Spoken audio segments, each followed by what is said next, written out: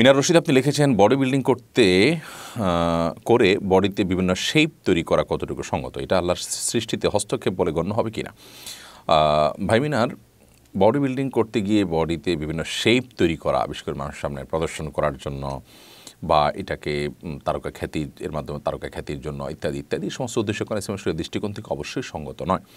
কারণ প্রথমত, ইমানদার তিনি এমন কাজ করবেন যে কাজে আর্থসামাজিক উন্নতি এবং অগ্রগতি আছে দুনিয়াবী দৃষ্টিকোণ থেকে অথবা পরলৌকিক কোনো উপকারিতা আছে।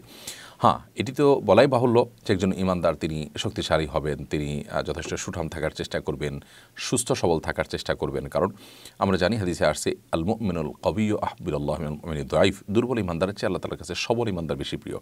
এখানে দুর্বল এবং সবল বলতে ইমানই দুর্বলতা, আমলি দুর্বলতার কথা বলা হয়েছে নাকি শারীরিক? সেটা নিয়ে ভিন্ন মত আছে স্কলারদের মধ্য থেকে।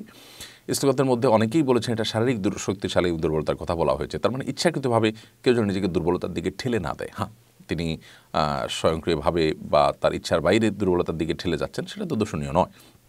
তো যাই হোক একজন ইমানদার তিনি সুস্থ, সবল থাকার চেষ্টা করবেন ইবাদবন্দি করতে হবে তাকে সেই জায়গা থেকে অন্যান্য প্রয়োজনে। কিন্তু এর মানে এই নয় যে তিনি এই কাজ করতে গিয়ে তার জীবনের মূল্যবান সব- সময়গুলো ব্যয় করবেন এবং এটাই তার জীবনের ধ্যান জ্ঞান হবে এবং এটা তার পেশা হবে, নেশা হবে।